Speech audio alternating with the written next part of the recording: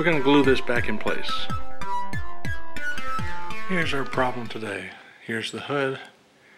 Here's the roof. Here's the sunroof wind deflector.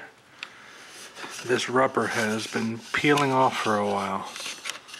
Quite a bit of it has come off. We're going to glue this back in place. The first step is to clean your work area. The visor actually comes out, which makes the job a whole lot easier. We could take it out and clean it up. Since the rubber portion is already more than halfway out, I decided to pull the rest of it out because it's probably about to go. We want the rubber to stick to the plastic, not the dirt, so wipe it down with a wet towel and dry it off as well. Whenever you're using something for the first time in a long time or ever, read the directions. A lot of adhesives like this don't get started until they've reacted with the air a little bit. The technique I used for this part was to fill the plastic groove with adhesive and then once it was full, take the rubber piece, dip it into the part, pull it back out, and now you've got adhesive on both parts. Now the glue has been sitting for a while and it's ready for the two parts to come together.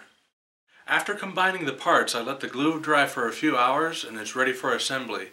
This part doesn't encounter a whole lot of weather or stress when not in use, so after a few hours of drying, it's ready to be reinstalled.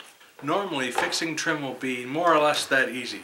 On this particular vehicle, I encountered a problem during reinstallation, and I'll tell you about that in the next video. Hopefully, this video helps you keep the weather out. Thanks for watching.